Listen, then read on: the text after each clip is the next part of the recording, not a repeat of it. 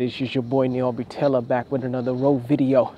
It's been a minute, man. I haven't done a video in a while. I've been sick since Thanksgiving.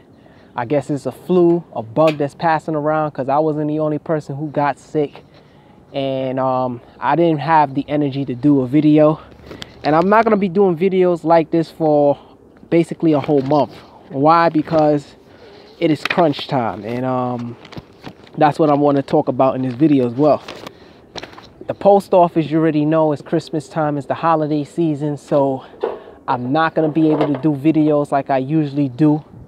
Maybe the weekend if I'm really up to it, but since I've been sick, I have not have any energy to do anything. So, um, yeah, basically just trying to get my energy up just to do work. And they might be calling me in sometimes on the weekend just to work, which is my day, only day off to, t- to really get rest. And they like, they just want to work you to death. So basically, whenever I get a chance to put up a video, you guys just keep tabs on that. I hope that you guys are subscribed to my page. And I hope that you continue to watch videos. If you have a lot of videos, I have so much videos on my archive that you guys could watch if you haven't watched already and um, leave your comments in the comment section below. I appreciate it. At least I know my you know my channel is still active. Um, I've been going through a lot of different things as well, just trying to get my energy right. Um, I was eating meat for a couple of months. I went I went on a break from stop eating meat for like five years, and then I went back to eating meat again. And this was around the time when I started being in a relationship. And, you know, it slowed me down. I realized, like, you know, I gotta be on top of my health, man. And I think I would start doing videos about health and food, even though I know that's not really my topic. But since I had a negative experience about it, you know, I think I should start talking about it as well on my channel. Um, you guys probably who are health conscious would tell me the same thing like nigga you're not supposed to eat meat. You should know better than that. But hey man the, the taste of General Tso's chicken never leaves your body. I'm just telling you that right now. But um yeah i started back eating fruits so my energy is very much higher than it was before. And i noticed that you know i went to a whole nother spiritual level in my spiritual growth because um I'm, I'm, I'm on a different level as far as speaking in tongues, man. And I know for my people who have the Holy Spirit, who believe in Jesus Christ, you know what I'm talking about, especially if you've been speaking in tongues for a majority of your life. Um, there's different levels. I think the first level is you start to speak in tongues, but you don't know how to interpret it.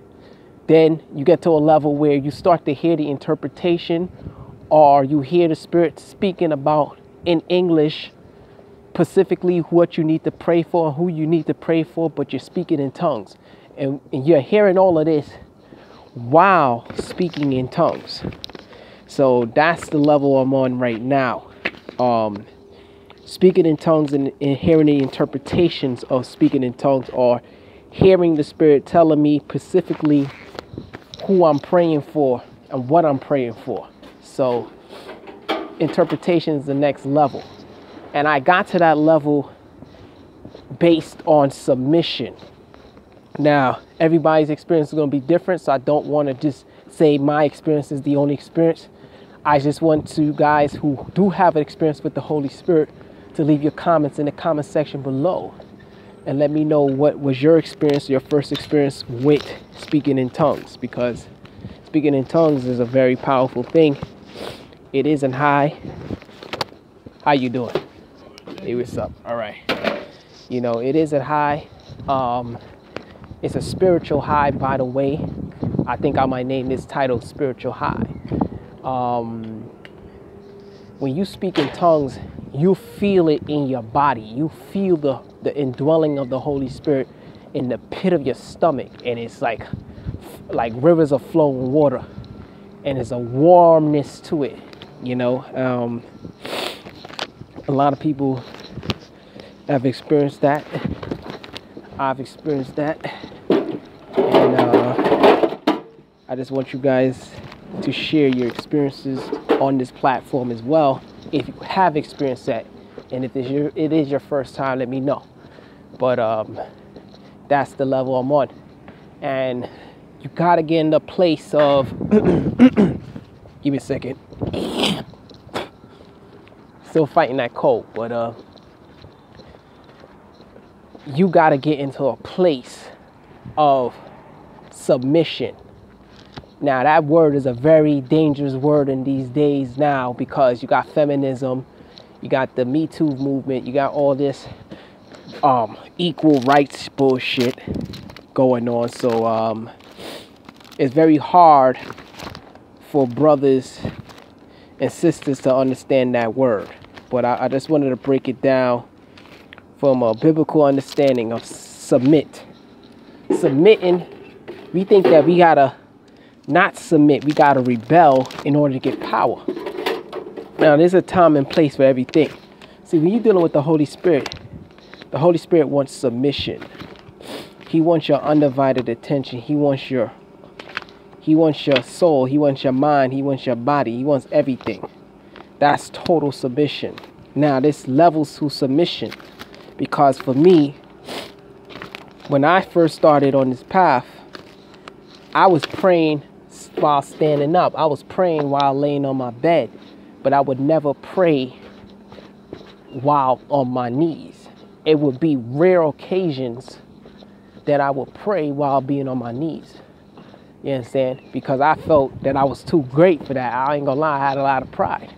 And, and God, as He started working with me, He started breaking down this pride in me. He started to show me, like, if you want to go to the next level, Neil, you got to let go of the pride.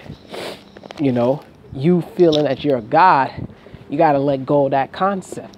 I'm God. And if you want to have everlasting life, you must deny yourself. So once I started learning how to deny my desires, gradually letting go of this world and everything that I desire in this world, desiring to fit in, desiring to be acknowledged, desiring admiration, all those different things, and just coming to God pure of heart. That's when I started activating these gifts like speaking in tongues and interpretations. So when you probably, let's say you're a beginner, you never had Christ in your life, you might, if you come to God with a sincerity, purity of heart, God by His will, right? He might make you start speaking in tongues right then and there. Because even in the Bible, it says when the Holy Spirit came upon the Gentiles, they were speaking in unknown tongues.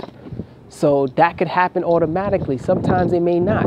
It's, you see, Holy Spirit is spontaneous. You don't have to be rigid like, oh my gosh, because I got the Holy Spirit, I'm automatically gonna start speaking in tongues. It's so much work that each individual has to experience or each individual has to go through in their own journey with God. You see, being with the Holy Spirit or having the Holy Spirit is a personal relationship. It has nothing to do with church, has nothing to do with religion.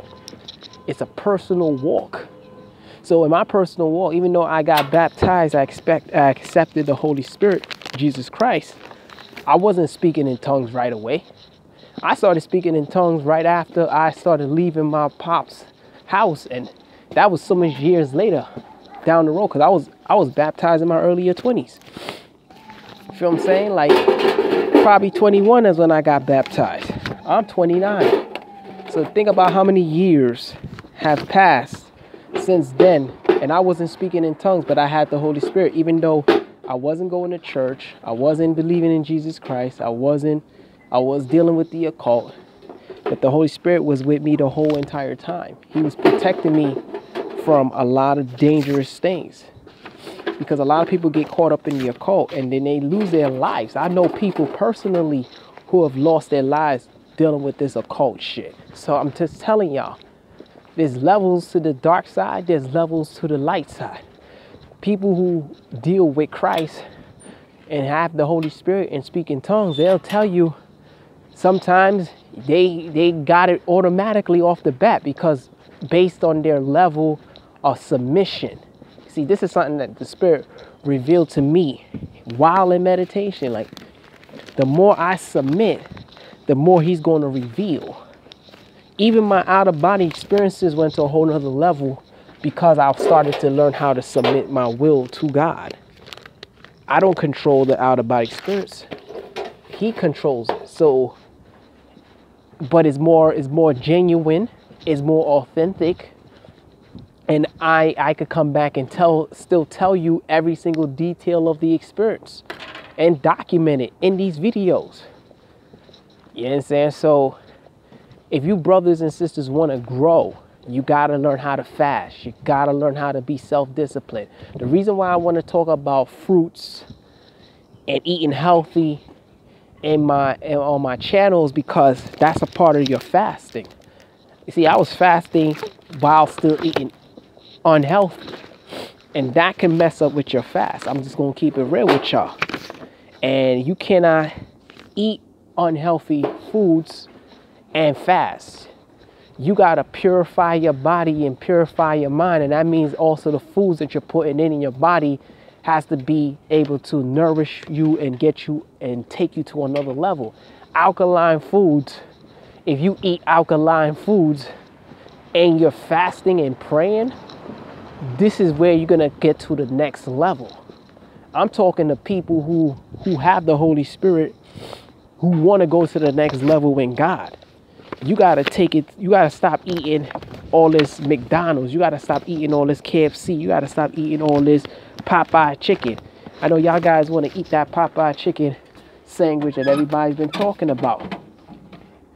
I never ever tasted that sandwich, but just looking at it and, and seeing how people react to it based on the the results that I've negative results I've seen people fighting over this chicken sandwich. I don't want no parts of it. You don't know what chemicals inside of this shit. You saying? But to each their own. See, you gotta detox yourself, man. And since I'm since this is the time for the holidays and this is when people get sick the most, this is the time when you need to purge yourself, cleanse yourself, renew yourself for the new year. You know, don't go into the new year with the old energy, with the old mindset. Cleanse your body. I also want to talk about spiritual baths. I haven't done a spiritual bath in a long time. And when I got sick, um, earlier this week, I ended up taking a lime bath, and I it helped me to clean my aura. It cleansed it, cleansed all that negativity that I was building up over the months, man. Cause I think the last time I took a spiritual bath was early in the year, really like beginning earlier the year, and I haven't took one since then. So just imagine how much clutter was building up in my aura. You gotta take care of your spiritual hygiene, man. I, I, I, gotta say that to y'all brothers and sisters, you know, especially you Christian, you know, Bible thumping niggas. Y'all just feel okay, you know, I got Jesus and got the blood of Jesus, but you don't truly understand how to use the blood of Jesus because you just say, oh, I'm a Christian, so, you know, once saved, always saved, and the devil don't have no power. You keep listening to those stupid pastors tell you that the devil don't have no power. The reason why you can't stop fornicating the reason why you can't stop masturbating, the reason why you can't stop gambling, the reason why you can't stop smoking is because the devil do have power. He may not have power as, the, as, as much as the Most High may have power, but he does have rulership over this planet, and, uh, and the Most High is allowing him to do what he wants to do. So don't be stupid. And this is why I don't subscribe to Christianity. This is why I don't subscribe to any religion or philosophy. My philosophy is the way of Yeshua HaMashiach, Jesus Christ. He said, Be as holy as I am holy. He said, To be a disciple of mine, deny yourself. Denying of yourself is self discipline. You must be self disciplined. Anything that gives you some type of self discipline. And I know there's brothers and sisters that may not be into the Bible, that may be watching and listening to this video, that could take notes from this video. Uh, take whatever you can.